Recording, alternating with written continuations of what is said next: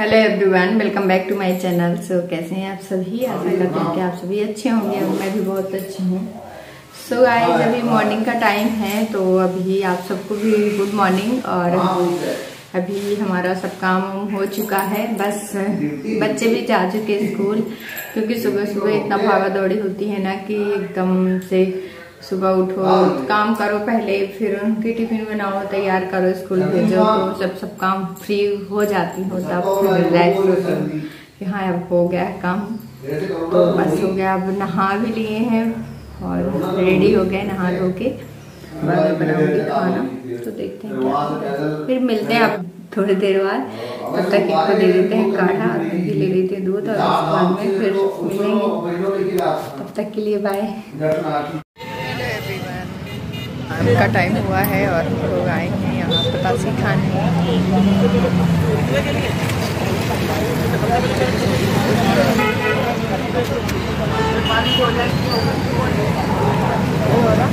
खा लिए हैं बस अब पैक करवा रहे हैं तो पैक हो जाए फिर उसके बाद में चलते हैं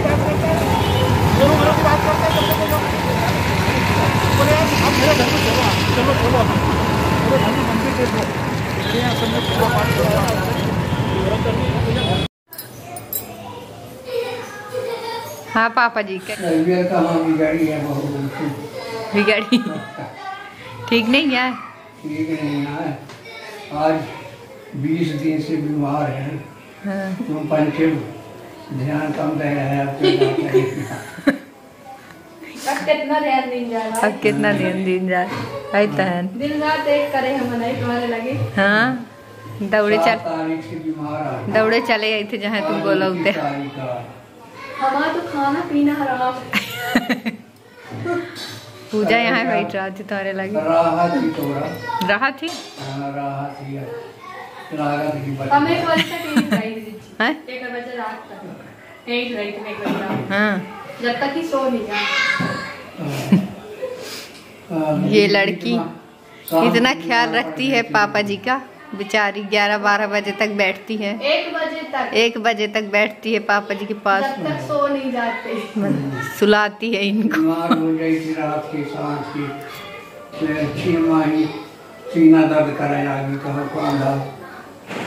सो गाइस आप देख सकते हैं कि मेरे पापा जी की तबीयत कितनी ख़राब है और ऐसी हालत किसी की भी नहीं हो। बिना ऑक्सीजन के रहते ही नहीं है। ऑक्सीजन की कमी हो जाती है।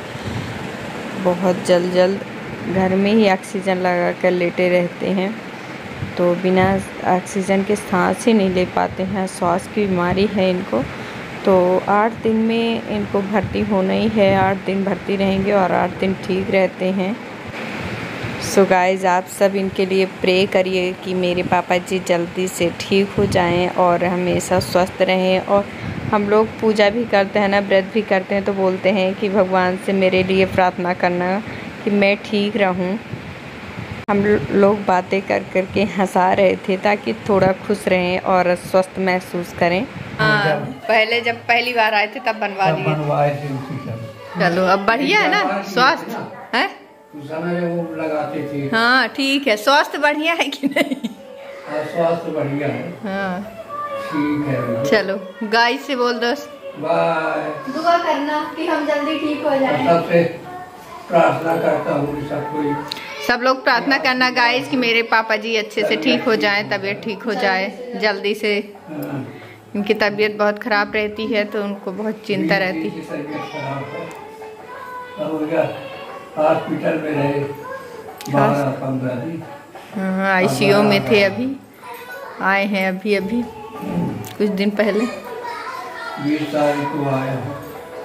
अब ठीक है अभी तो चल रहा है। हम्म, हाँ, चलो ठीक है। बाय बोल दो गाइस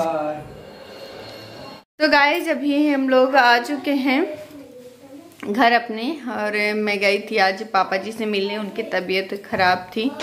तो उन्होंने फ़ोन लगा के बोला था कि आए नहीं तुम लोग। एक दिन गए थे, लेकिन टाइम नहीं मिल पाता है ना। बच्चे स्कूल जाते हैं, फिर ट्यूशन जाते हैं, उनको लेकर आना, लेकर जाना ट्यूशन छोड़ना, लेकर फिर आना। तो ऐसे ऐसे करके शाम हो जाती है, रात हो जाती है। तो फिर आज गए मिलने के लिए। उनकी तबीयत ठीक नहीं रहती है।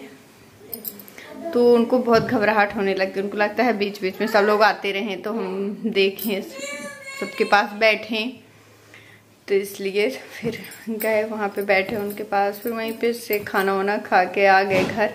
बस अब कुछ नहीं है काम तो हो ही गया। अब होना क्या है? काम तो था ही नहीं। बस खाना पीना तो वहीं से खा कर आ गए थे। और अब है थोड़े से बर्तन बचे हुए हैं, रखे हुए हैं। ये खाना खाए तो उनके लिए, उनका खान, खाने का जो बर्तन था ये है, दूध दूध पिए, उसका रखा हुआ है तो मैंने सोचा अभी चलो धुल लेती हूँ, फिर सुबह बहुत कम हो जाता है और रखना भी नहीं चाहिए, वैसे रात में बर्तन जूठे नहीं रखना चाहिए किचन में तो मैं कभी नहीं रखती हूँ, चाहे एक दो भी रहता है तो मैं धुल लेती हूँ। तो वही बस अब थोड़े से धुलना है, दो चार हैं तो धुल लूँगी और बस। आज का दिन ऐसे ही है ये देखो। लग गए क्या हो गया मनु को? और ये गया था पापा जी बोले कि मेरी तबीयत खराब है। बेटा तो बोला कि मेरी भी तबीयत खराब है मुझे भी हॉस्पिटल जाना है मेरे को बुखार आ गई है मुझे स्कूल में खांसी आती है।